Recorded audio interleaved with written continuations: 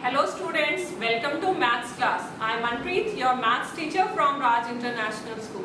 Today I am going to introduce chapter 6 factors and multiples.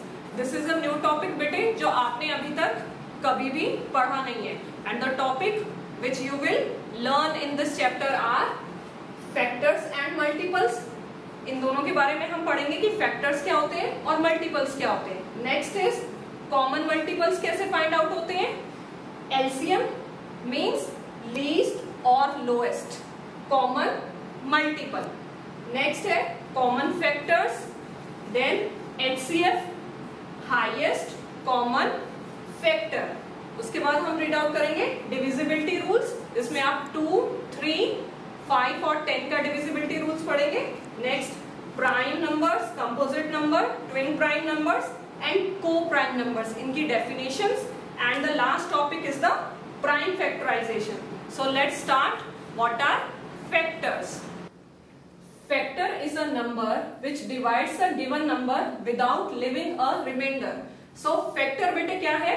एक ऐसा number होता है which divide a given number means जो divide करता है गिवन नंबर को विदाउट लिविंग अ remainder जो कि रिमाइंडर कुछ नहीं छोड़ता। मीन्स लिविंग a remainder का मतलब क्या हुआ?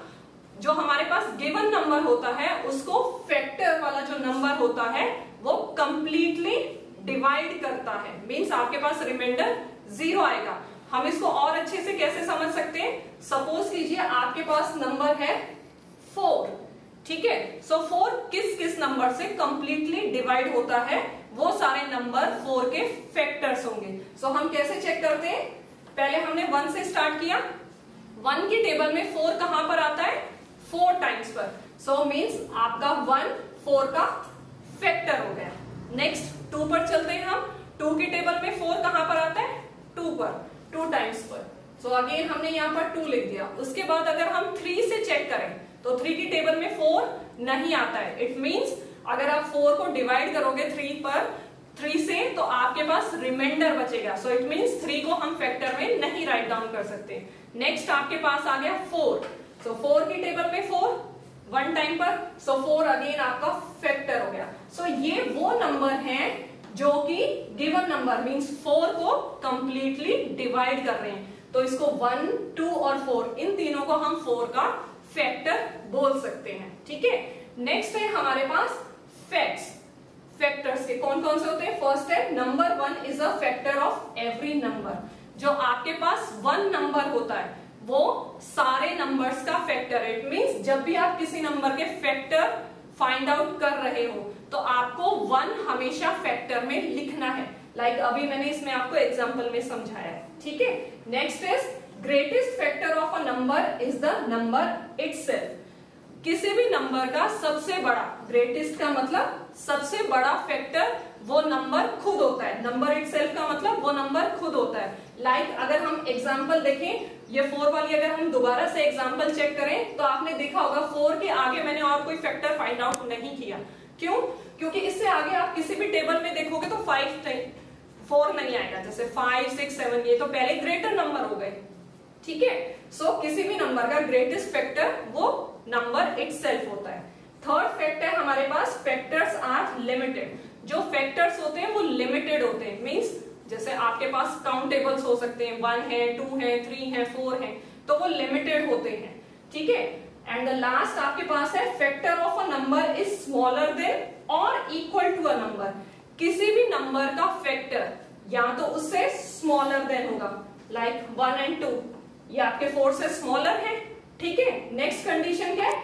इक्वल टू अ नंबर या फिर उसके इक्वल होगा like four and four they are equal ठीक है? सो ये फैक्ट्स हमारे सारे फैक्टर के बारे में. Now let's move to the next आपके पास डेफिनेशन है मल्टीपल्स सो मल्टीपल्स क्या होते हैं? A multiple is the product of two और मोर फैक्टर्स मल्टीपल आपके पास प्रोडक्ट होता है. प्रोडक्ट का मीनिंग आप सबको पता है? जब हम मल्टीप्लाई करते हैं ठीक है? टू और मोर फैक्टर कोई भी दो या दो से ज़्यादा फैक्टर्स को हम जब मल्टीप्लाई करें तो हमारे पास मल्टीपल्स आते हैं। या फिर हम एक और डेफिनेशन इसके लिए दे सकते हैं हमारे पास मल्टीपल्स क्या होते हैं? किसी भी नंबर का आप जो टेबल राइट डाउन करते हो तो आपके पास जो प्रोडक्ट आ रहा है वो उस नंबर के मल्टीपल्स होते हैं। लाइक like, आपके पास नंबर टू है तो टू के मल्टीपल्स कैसे होंगे? हम टू का टेबल राइट डाउन कर सकते हैं? Two one are two then two two are four two three are six two four are eight and so on so इसमें मैंने क्या किया? मल्टीप्लाई किया. Two one are two so ये जो दो हैं two multiply by one this is the factor जैसा कि आपको डेफिनेशन में मैंने बोला है प्रोडक्ट ऑफ़ टू और मोर फैक्टर ठीक है? तो यहाँ पर हम प्रोडक्ट कर रहे हैं और जो हमारे पास आंसर आ रहा है दैट इज़ द मल्टीपल जिन नंबर को मैंने मल्टीप्लाई किया, वो मेरे पास फैक्टर्स हैं, और जो उसका आंसर आ रहा है प्रोडक्ट में, वो हमारे पास मल्टीपल्स बन जाते हैं उस नंबर के। ठीक है? नेक्स्ट हमारे पास फैक्ट्स आते हैं, जैसा अभी हमने फैक्टर के पढ़े थे, वैसे ही हमारे पास मल्टीपल्स के भी फैक्ट्स होते हैं। First is first multiple of every number is the number itself किसी भी नंबर का सबसे पहला जो मल्टीपल होता है, वो क्या होता है? नंबर इटसेल्फ क्योंकि आपने देखा होगा, आप बोलते हो two one are two so two का मल्टीपल सबसे पहला टू आया। फिर अगर हम कोई और नंबर ले लें three ones are three so three का अगेन पहला मल्टीपल क्या आया? थ्री तो आपके पास हर नंबर का जो सबसे पहला मल्टीपल आता है, वो नंबर इट होता है। नेक्स्ट है हमारे पास every number is a multiple of one her number one का मल्टीपल होता है। ठीक है? Third one is multiples are infinite so infinite का मीनिंग होता है जो हम काउंट नहीं कर सकते। लाइक like मैंने फैक्टर्स में आपको बोला था फैक्टर्स आर लिमिटेड मीन्स आप उनको काउंट कर सकते हो। वन है टू है थ्री है फोर है। ठीक है? बट मल्टीपल्स आर इनफाइनाइट ये इनफाइनाइट क्यों है? जब तक बेटे आप मल्टीप्लाई करते जाओगे, आपके पास आंसर्स आते जाएँगे। तो इससे क्या होगा? आपके पास एवरी टाइम उस नंबर के मल्टीपल्स आ रहे हैं तो मल्टीपल्स काउंट नहीं हो सकते हैं।